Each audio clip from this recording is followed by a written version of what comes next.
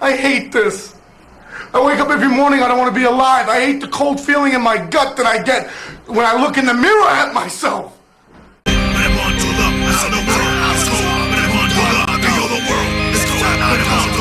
If you see me staring at you, better knuckle up. Cause the world is cold, but I'm on to love. I said the world is cold, but I'm on to love. I know the world is cold, but I'm on to love. If you see me staring at you, better knuckle up. I said the world. You know what I grew up around? You know what I grew up around? Alcoholics, junkies. I grew up around that. And I had to survive. I had to grind. You couldn't last a day in my shoes. off because I have nothing else but this. I chose to have nothing else but this.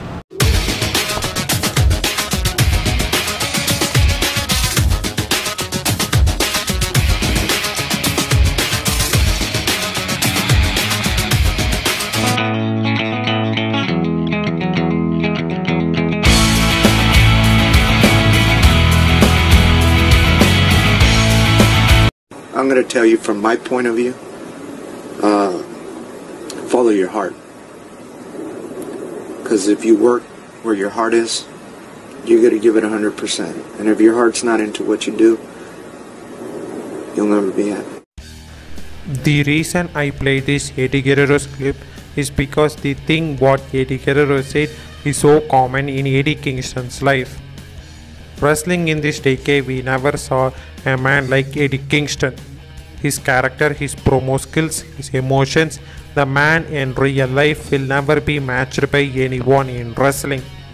He had been unsung in independence wrestling for almost a decade and closely went to quit wrestling. So, how does this all happen? Let's look at the rise of Eddie Kingston, unsung hero in the Mad King story.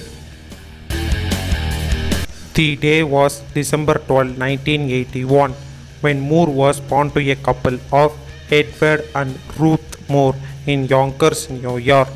As a wrestling fan, Eddie Kingston always liked the bad guy. Moore initially trained alongside Blackjack and Jigsaw under Kevin Knight at Independent Wrestling Federation in Woodland Park, New Jersey. After leaving Independent Wrestling Federation, he joined the Chikara Wrestle Factory, where he was trained by Mike and Chris Hero. Moore made his professional wrestling debut under the ring name of Eddie Kingston on October 12, 2002 at Chikara's 7th event. He started his career as a tag team called the Wild Cards along with Blackjack. After having a long-term feud with Ultra Zero, on September 18, 2004, the Wild Card won the IWA Mid-South Tag Team Championship until a knee injury forced Marciano into retirement, thus disbanding the team. Eddie Kingston first appeared in West Side Extreme Wrestling WXW in 2004 as a part of Chikara exhibition match. Kingston also joined Combat Zone Wrestling and was almost immediately placed in the role of enforcer and mouthpiece in BLK Out faction. Kingston and fellow BLK Out member Joker won the CZW World Tag Team Championship from the Kings of Wrestling Chris Hero and Claudio on February 11, 2006 at 7 years strong. For a majority of 2006, Kingston had a rivalry against Larry Sweeney.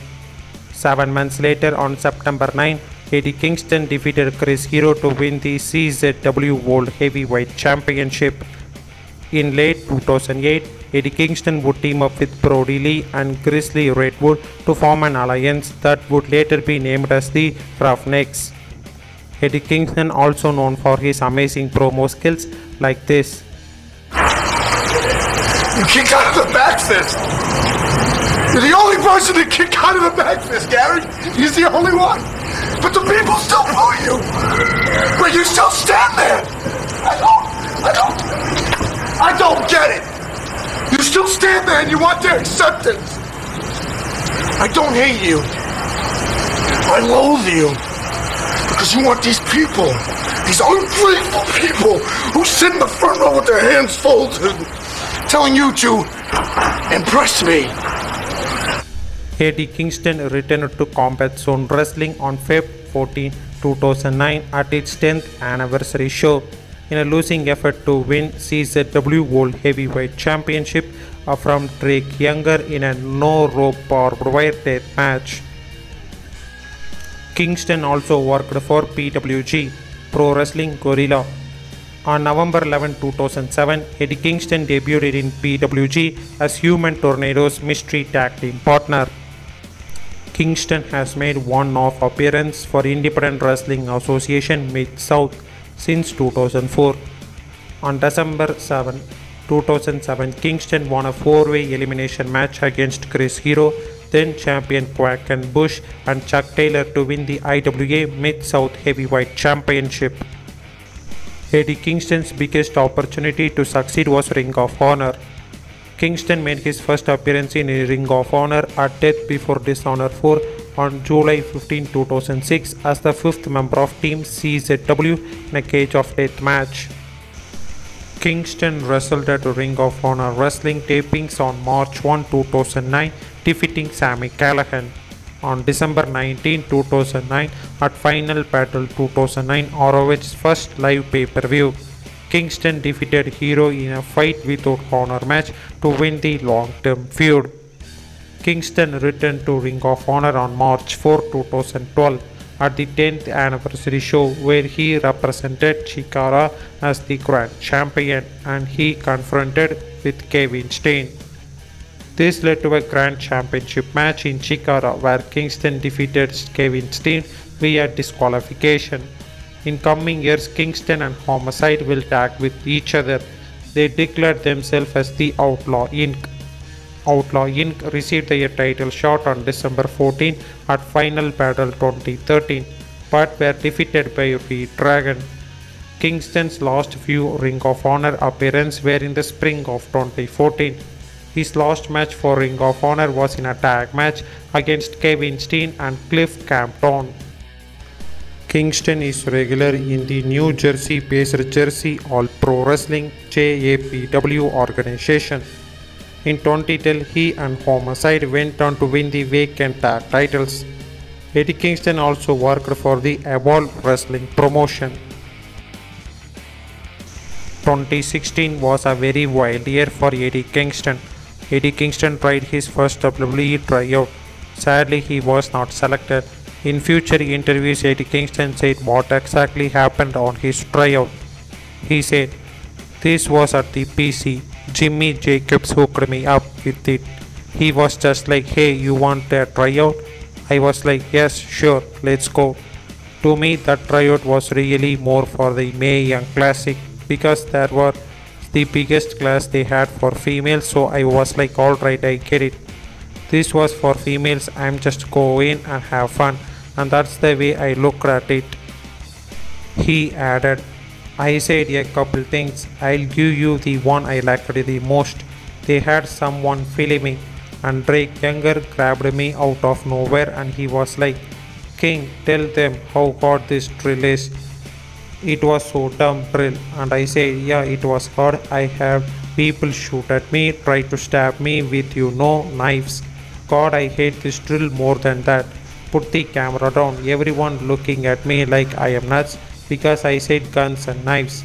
And I remember I was doing the promo class and I said where I came from. They believe in Tupac more than a Santa Claus. And I saw two writers just have this like confused look on their face when I said it. And I went, oh yeah, I'm done. Let me just go have my match and I leave. Even though his WWE tryout failed, he was offered by TNA. Kingston made his TNA debut when he was revealed as a member of Masked Gang Death Crew Council DCC on November 10, 2016 episode of Impact Wrestling alongside with Bram and James Storm. On the November 17 episode of Impact Wrestling, Kingston made his Impact in ring debut, teaming with Storm and Bram to defeat Edwards and Brother Nero in a no disqualification 3 on 2 handicap match. On multiple occasions, DCC tried to capture the tag championship, but they miserably failed against the Hardys. As Anthem Sports made their way to TNA, they decided to disband the faction. On the April 6 episode of Impact Wrestling, Kingston and Bram interrupted James Storm, kicking him out of the DCC after Eddie Kingston spat in Storm's face and Storm laid both guys out with the super kicks. Eddie Kingston would return to Global Force Wrestling, which he was involved in 20 man Gauntlet for the gold match for the vacated Impact World Championship, which he was unsuccessful. On October 4, 2017, Eddie Kingston announced his departure from Impact Wrestling.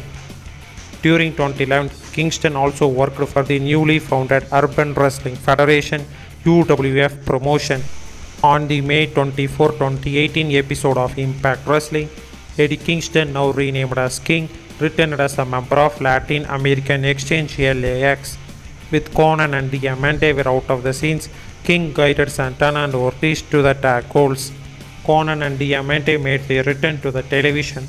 They doubted King's work in the group.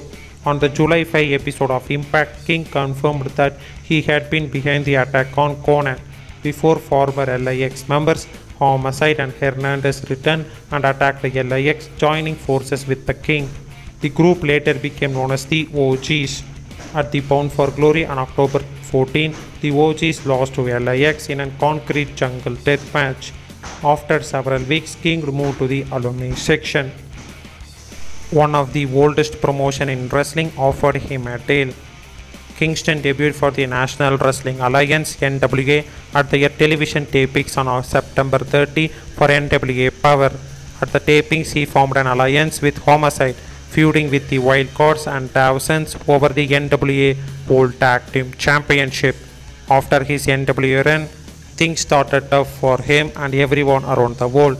As pandemic hit, millions around the world had lost their job. Independent wrestlers suffered huge from the pandemic. They had no dates to work, they were in huge trouble. At this time, Eddie Kingston made a decision to quit wrestling. He almost done with wrestling. Suddenly, a phone call from All Elite Wrestling had changed his life forever. Kingston made his debut for All Elite Wrestling AEW on July 22, 2020 episode of Dynamite, where he faced against Cody for the AEW TNT Championship but lost. In the first few minutes that Kingston would appear on the television screen, he made it known that he was the top free agent in professional wrestling at the time. By cutting a powerful promo talking about all the obstacles he had to overcome in his life to get him to where he was that night when he debuted on AEW Dynamite. Man, that's it. I'm just gonna. I gotta walk away, man, because I'm. I, I'm. I learned. I'm gonna move on. I'll be back. All right, I'll be back. Eddie Kingston took the opportunity that the All Elite Wrestling gave him and made sure that he showed the world that he was the wrestler who you should be looking out for. At the All Out pay per view, Kingston participated in the Casino Battle Royal, where he was lastly eliminated by the eventual winner Lance Archer.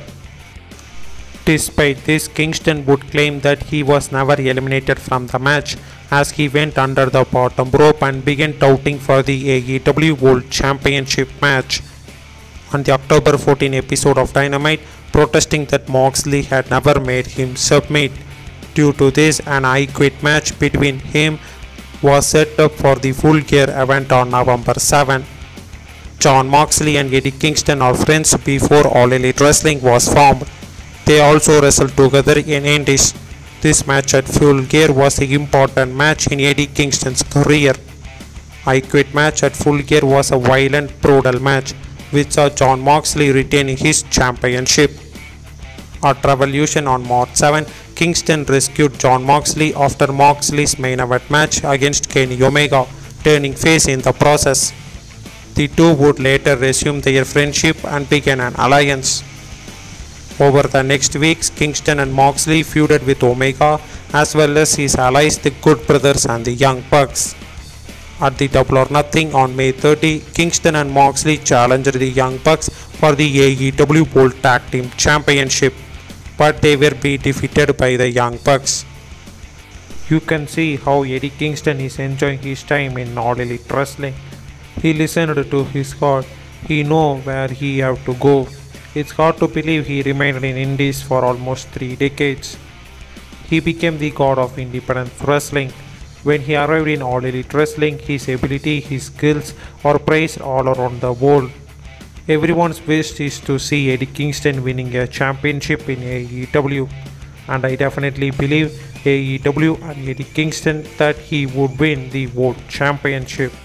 So entertaining us for almost four decades by putting your body on the line in every single match that you had. Thank you, Eddie Kingston.